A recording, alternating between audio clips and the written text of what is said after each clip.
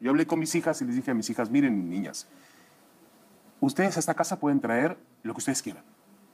Novio, Novia. del color que sea, pueden traer novia, mientras sea gente que les dé amor, a mí no me importa Ay, absolutamente nada. Quiero saber qué opinión te merece este escándalo de un señor que besó en la boca a una futbolista. A mí me parece, Consuelo, que... que nin- y mira, aquí yo vivo en una casa con cuatro mujeres.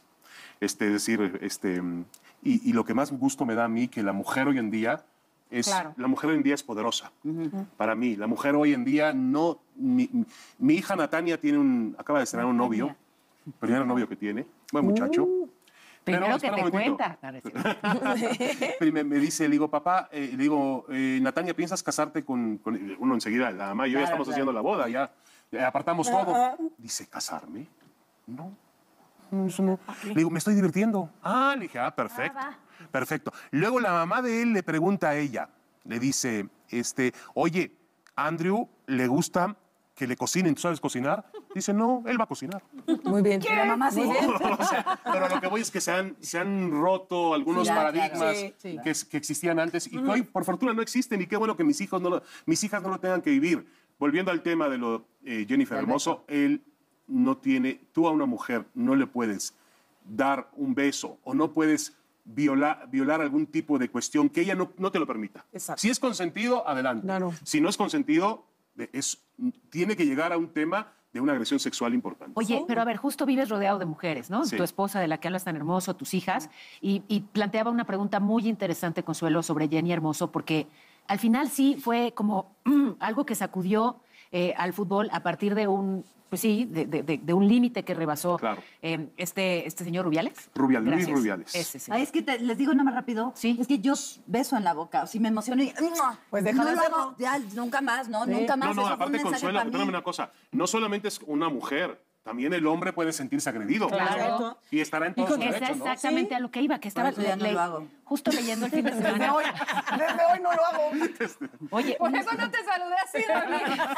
Estuvo a punto, ¿eh? Se lo pensó. No, pero mira esta encuesta, una encuesta que aplicaron en, en España, pero el 40% de los españoles, de los varones, Sí. eh, considera que, digamos, el, el feminismo y la defensa de los derechos de las mujeres ha llegado a un punto tal que atropella los derechos de los hombres. Así lo, lo valoran, Sí. al menos quienes respondieron a esa encuesta en España. Entonces es un tema interesante. Sí es, o sea, sí, claro. ¿sabes? Este, de si hemos estirado mucho la liga o si ha habido abusos, de, digamos, en nombre de defiendo los derechos de las mujeres, señalo al agresor. Hay abusos desde ahí, de pronto señalamientos que son injustos o falsos. Eh, Pero ¿sabes lo que pasa también, Paula? Hay un cambio generacional Yo sí lo creo, ¿eh? fundamental.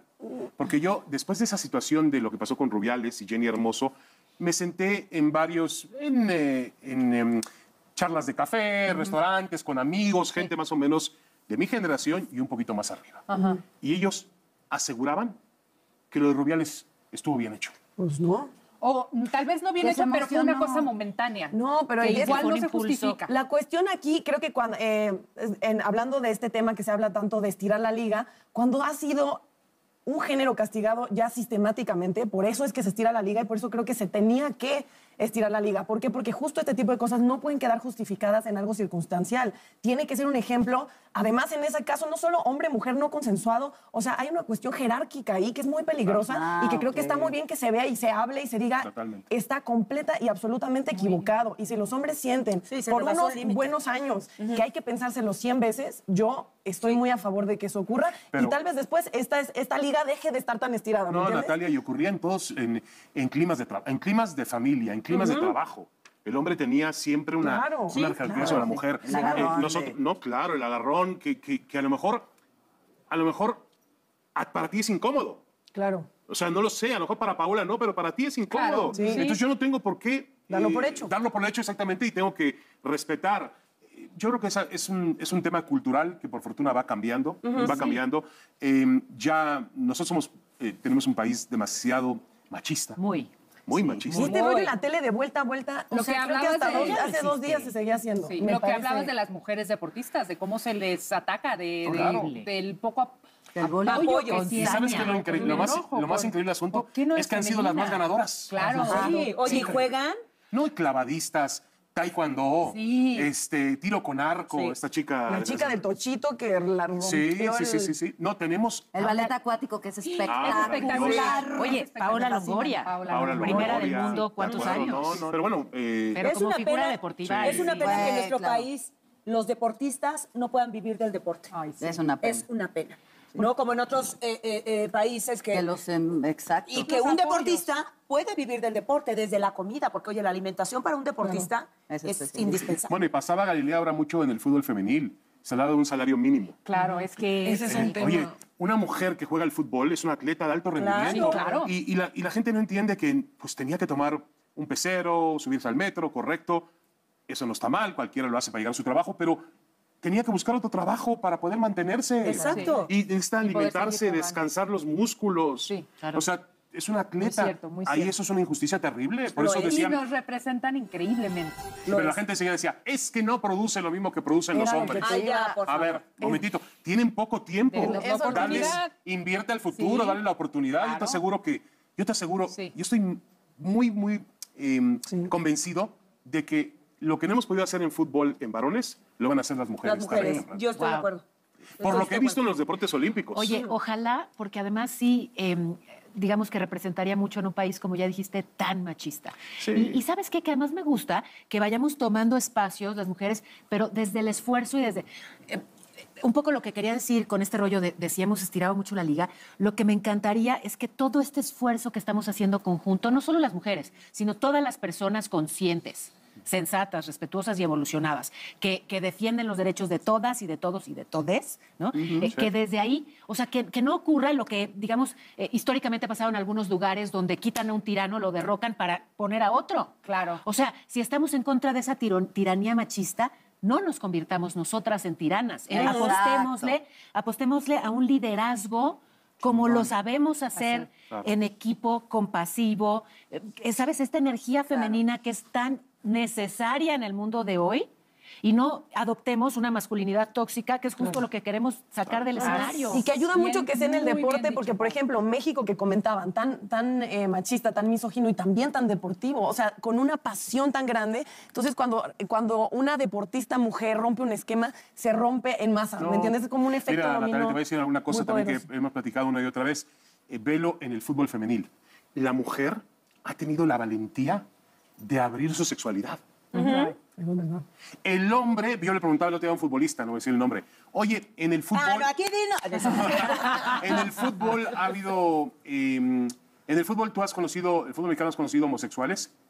No, ¿qué te pasa? Casi casi tocan madera. No, no, no, nada. Por Dios, ¿cómo no van a existir? Es normal. por Que- estadística. Pero no se abren. abre. No. No salen del Todavía closet. hoy, 2024. Están reprimidos. Pero imagínate el bullying A mí me dio mucho gusto que, del equipo. que una jugadora de Monterrey dijera mi novia es la Sí. jugadora del América y vamos a tener una familia. Claro. La verdad que eso es algo hoy de lo más normal. Sí. Hoy de lo más normal. Pero Para algunos, yo creo David. que es un tema cultural, ¿no? Muy grave. Yo Y siempre- generacional, ¿eh? Pero aunque Y las chavas se, han atrevido a abrir su sexualidad y muchas han eh, públicamente expuesto que, que, que son lesbianas, sí las atacan, David. No, y las acosan y chica las de América, Scarlett. Camberros, que tuvo que irse. Es un tema, a ver, es un tema de- de cultura y de sociedad. Yo siempre, el otro día estaba platicando una boda, estaba, no una boda, era un bautizo.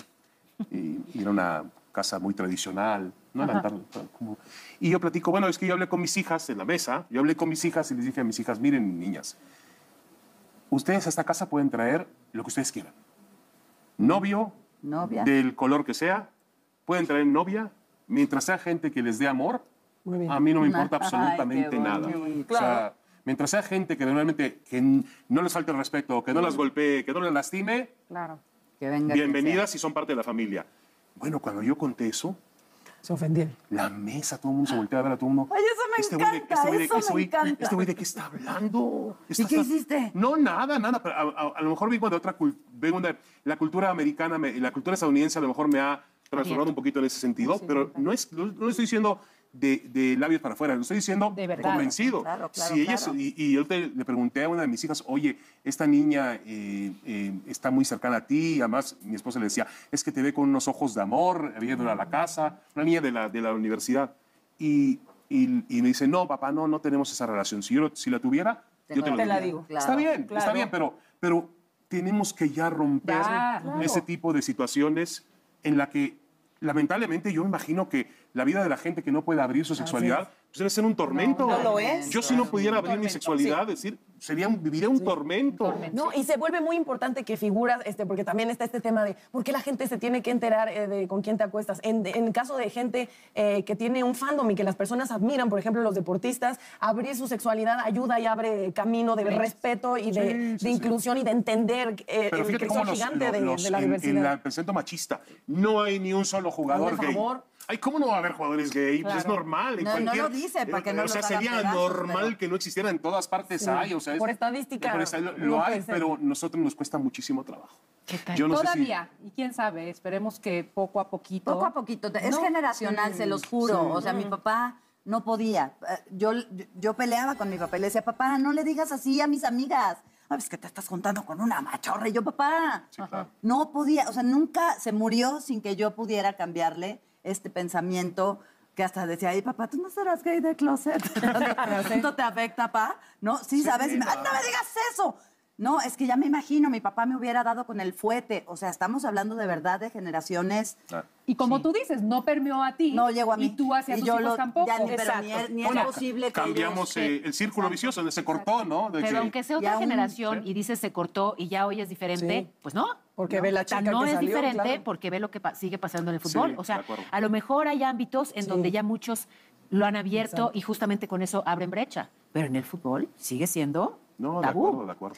Teniéndote en este sillón, escuchándote hablar de tu mujer, de tus hijas, Sí. yo Ay, te sí. agradezco Yo también. porque sí siento que estás haciendo exactamente eso. Siento que tu manera de hablar, de Sí. expresarte, de amor, de, de, ser con ellas es exactamente lo que necesitamos las mujeres. Es que, es que mira, eh, Daniela, luego, luego, luego existe, me ha tocado varias veces, la clásica frase. Y no, te qued- no se quedaron con el... con ganas del varón, ¡Puta madre! con ganas del varoncito. Bueno, mi esposa casi los madrea. cuando Qué dice bueno. algo así. Sí, claro. Me cae muy o bien. sea, tu como, como diciendo, este, estás incompleto, no tienes Sí, un varón. claro, ¿qué hiciste? ¿Y Oye, pues si ya eso es de los tiempos de la Biblia. Sí. Pero, y, y yo le digo, pues no, la verdad es que no, ni lo he sentido. Las niñas son cariñosas, tengo una hija que hace deportes al máximo nivel, Wow. que leva- la- levanta pesas como desesperada porque ya quiere tener músculos, Qué chido. como lo tiene el, el- el- el varón. O sea, ya en ese sentido estamos en un cambio que existe y como dice Paola, ese cambio llegará poco a poco. Hola, yo soy Natalia Telles y te quiero invitar a que si te gustan los contenidos de Unicable, por ejemplo, Netas Divinas, que es un programa que me gusta mucho, pues te suscribas a nuestro canal de YouTube y actives la campanita para que te lleguen notificaciones y seas el primero en saber cuando hay nuevo contenido.